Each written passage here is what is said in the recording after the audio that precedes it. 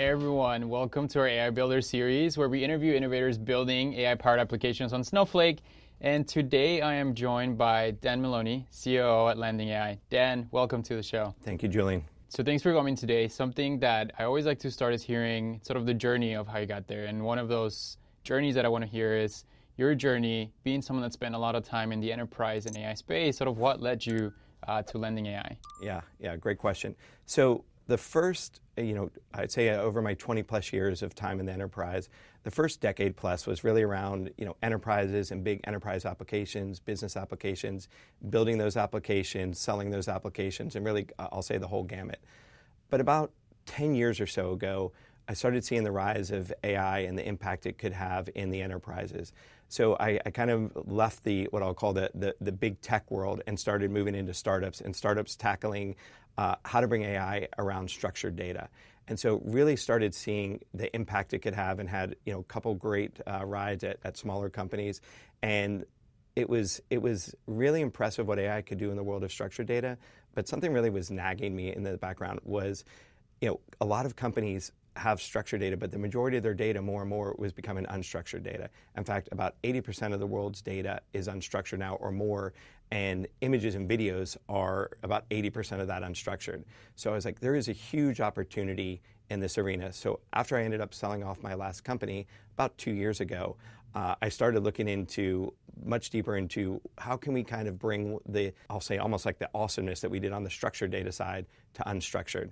And a friend of mine, Andrew Ng, already had a company, Landing AI, uh, that was tackling this already in the marketplace. And we actually ended up talking actually for about six months, collaborating on different AI, uh, AI topics around unstructured data. And how could we really open it up and, and kind of change the industry?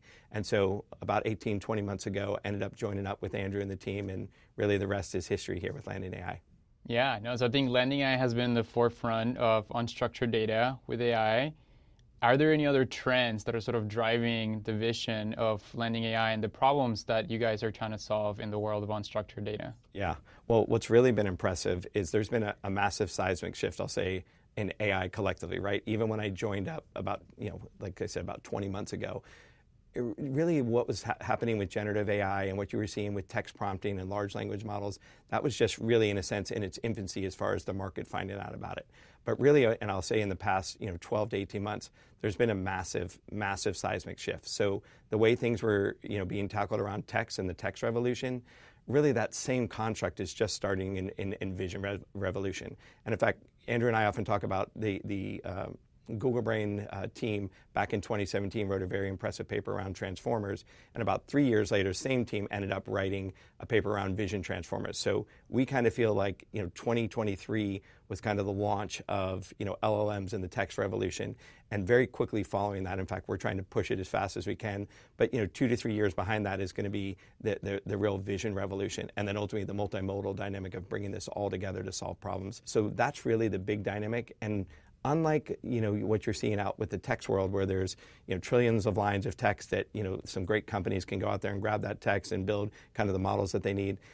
Yes there's a ton of images out there on the internet today as well but those are you know on instagrams or facebooks and you know it's pictures of your friends and and pictures of pizzas and bridges and, and common objects. And you won't classically see those proprietary images that enterprises have for you know deep sea pipeline inspection or you know electric grids, uh, taking a look at you know with drones, taking a look at poles and wires and transformers or whatever their their business are in. So that's really where we saw the really big opportunity to kind of you know in a sense change the world. Yeah, and so I think it's really cool how can you mention sort of the text wave and sort of the visual wave coming next and make it more tangible with those use cases. I think something that part of the text wave is we've started to figure a lot of the things that need to be solved. I'm imagining you guys are starting to figure out a lot of the infrastructure things that need to be solved for, for visual models. How does that impact how you guys are building the product? I'm imagining something very uh, advanced and sophisticated. We'd love to see how, how you guys have architected this product uh, to be available for users to make uh, large vision models uh, democratized across the enterprise. I love it. I love it. Would it be helpful maybe if I showed you what we're doing actually with Snowflake and the native app we're building? Yeah, let's take a look at that. I love it. I love it. So what I've got here Um, we've actually been working with Snowflake. What's really exciting, before I even jump into too, too much detail here, we've really been working with Snowflake to try to bring some of that visual uh, AI dynamics that we talked about in the visual revolution into Snowflake. So a lot of people know Snowflake as a data cloud and doing a lot with structured data, but actually they do a lot more with unstructured uh, data than people know, and more and more is coming around the corner. So what we've actually done here, we've actually taken the Landing Lens solution, that is our Landing AI's platform, we've actually taken that product and we've actually wrapped it, fully containerized that solution using Snowpark Container Services and actually put that inside, in a sense, the Snowflake tech stack. And we've wrapped it up as a native app. And of course, customers can actually go out to the Snowflake marketplace, click one button, download it, and have it running in their environment. So if you take a look here on the left hand side, this is actually a customer, right? The consumer's domain. So they'll actually go into their web browser, be able to launch Landing Lens authenticated through Snowflake, and really run through kind of what is kind of a, a classic MLOps flow around computer vision. So accessing the images, whether that's via our edge component, whether that's automated via some type of API, or literally just uh, uploading the images in the browser, depending on their use case. And then when you take those and actually have that in the Landing Lens native app, what we've actually done, it's actually really impressive what Snowflake's put together.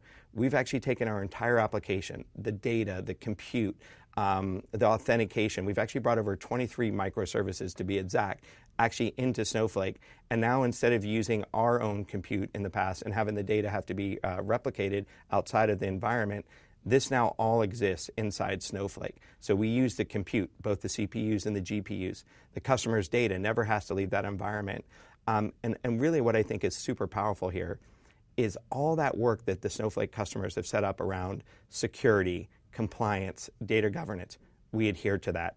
Um, all the vision tasks and all the pieces that we've set up where they would normally classically have had to you know learn a new application uh, set it up go to another tech that's now all in, inside you know snowflake and then the third piece which i think is really important here customers, again, they don't have to take the data and compute outside the Snowflake world. They're already using, um, used to utilizing Snowflake. They're used to getting um, their compute from Snowflake, accessing their data in Snowflake, and we now just are like another component or app in that equation. So to me, that's really powerful. But from a, a personal point of view, landing AI, the thing we're really excited about on top of all that is we build this one time for uh, Snowflake on top, like with a native app and that will now run on top of AWS. That will run on top of Azure. That will run on top of GCP. So whatever your customer, whatever their CSP that they're leveraging, we build it once and it'll run anywhere. And that's a really powerful proposition. Yeah, and I'm really excited about all the simplicity that we've brought so that you can build sophisticated applications inside the data cloud. I'm now excited to see how you're simplifying advanced uh, visual models for your end customers. So if we could jump into a demo and see kind of how all of this works um, I think that'll be really cool. I'd love to. So let me go ahead and, and show you that here. Now that you've kind of got an understanding about our native app um, and how that's uh, you know fully inside Snowflake here, now what I'm showing you is here's actually how an admin will actually set up this installation. So they go into Snowflake, click on the app, hit install, and it's one button. Go ahead and get it, right? Name your landing lens application, set up that warehouse, and you hit get and really you're off and running. So all of that complexity that we used to uh, had to build into the application, et cetera, the end user no longer has to worry about that. And so once the admin sets it up, you get an email 10 minutes later, all users that are Snowflake users can also use our app. And so what we're looking at here is this is kind of the landing page or home page inside of our Landing Lens platform. And you'll see common computer vision tasks or projects like object detection, uh, segmentation, uh, classification, as well as a new technology that we've invented called visual prompting, which relates similar back to like text prompting that I was talking to you about. And I'll show you that a little bit at the end here. So once a customer kind of comes in here, they can determine which project they want to go after. Here I'm going to just take an example of a manufacturer doing an object detection. So I've already set this up. And so inside here, we've already got a demo environment. And so really what I've done here is I've taken images that already exist, and some of them are pre-labeled, some of them are uh, unlabeled, uploaded them into the environment, and very quickly here with these metal wafers here, basically I ended up finding a couple holes here. I can basically do very quick labeling and annotation, and boom, I've already got now images, like I said, that have been pre-labeled, and some that I labeled in advance, right, or labeled right here in the product.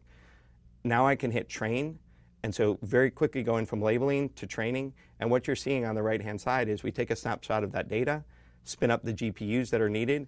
We start doing the training and learning, so you can see it getting better as it goes through each kind of epoch there, and then boom, you've got a model that fast. So here you can kind of see the performance, how well it performed here from a precision and recall point of view. And then as well, we'll give you some tips. For example, we saw some images that weren't labeled correctly or mislabels. So here we give you some recommendations about, hey, this is a hole here. Would you like to accept it, reject it, and so on. Once you have that model now trained, you can go ahead and deploy that model. So we've already got some endpoints set up here where a customer can leverage a current endpoint, or they can go over to our deploy page and set up a new endpoint. Here for this demo, I've already set one up as far as the webinar demo.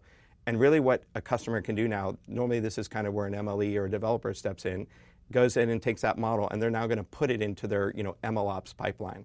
So here they get the access to their endpoint ID, uh, their API key. They can copy that and put that up and be off and running.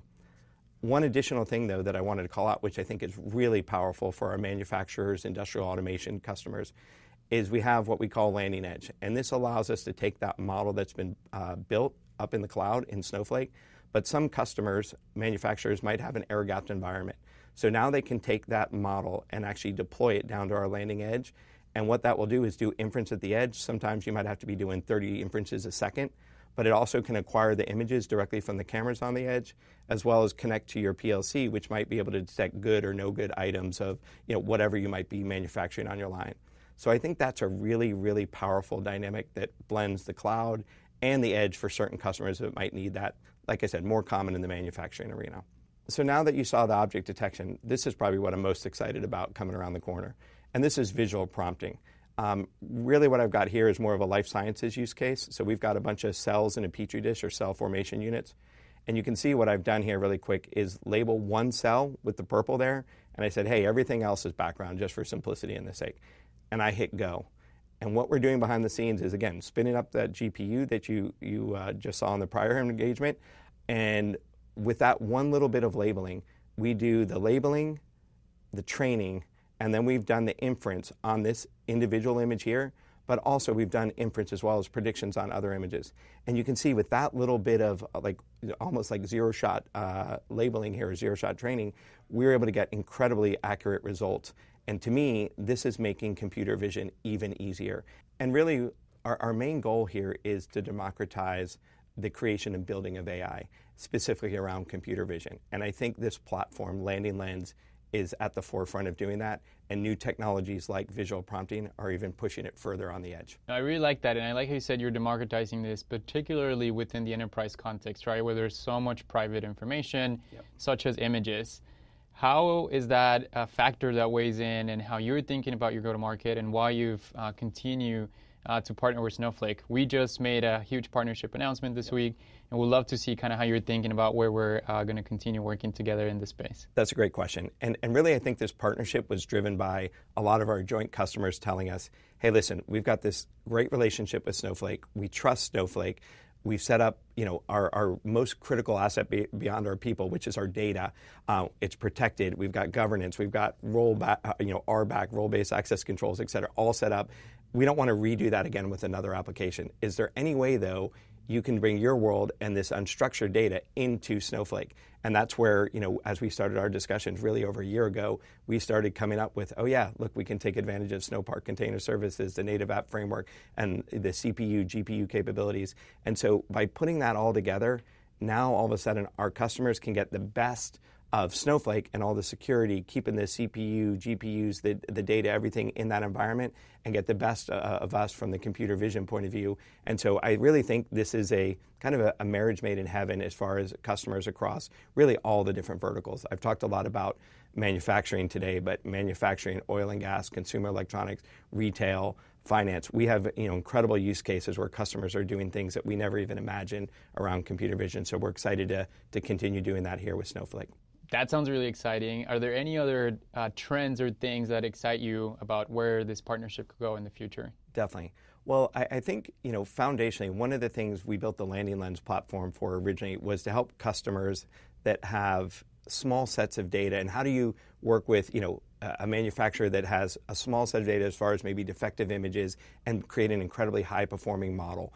Um, that was kind of step one what we now have more and more customers saying is now we've got you know millions or billions of images. And how do we tackle really kind of the, the big data challenge around uh, computer vision and AI and can we take advantage of generative AI in helping in this world? And so the big thing that we're starting to see in the market is what we've launched recently called domain specific large vision models or LVMs more broadly and even some work we're starting to do with LMMs in that arena. So really what this is all about is companies have a huge set of proprietary data that they often want to do a lot of different downstream tasks and applications built specifically to solve uh, different problems. So we've been working with you know companies in oil and gas, uh, companies in consumer electronics. Uh, we've even been working with companies that are trying to do incredibly new and innovative things like uh, can they help predict investment art and the value of art and democratize that as opposed to the way it's been done in the past. But there are obviously millions of pieces of art. There are you know companies that have billions of pieces of uh, you know PCB, semiconductors, uh, LCD displays, pipeline, deep sea pipeline inspection. And so they've got these images and they really haven't been able to get the intelligence out of it.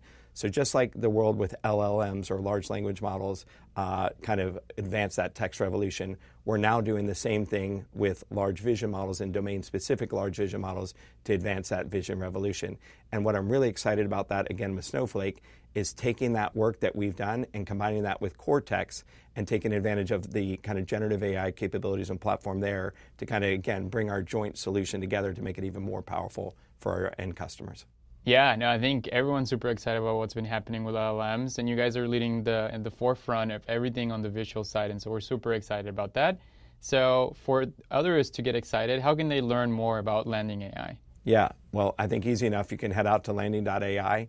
Uh, we've got a free trial out there. You can get tons of great information, but feel free to jump in the product. We tried to make it uh, very easy and frictionless to use. And then, of course, at the Snowflake Summit this year uh, in June, we're actually launching the native application. So you'll also be able to go into, if you're a Snowflake uh, user or customer, go right in the Snowflake uh, marketplace, download Landing Lens, and get going with uh, your Landing AI journey. Thanks for joining, Dan. And of course, thank you everyone that joined us today on this AI Builder episode. If you want to hear from more builders building really cool and sophisticated apps in the data cloud, make sure to subscribe and join us for the next episode.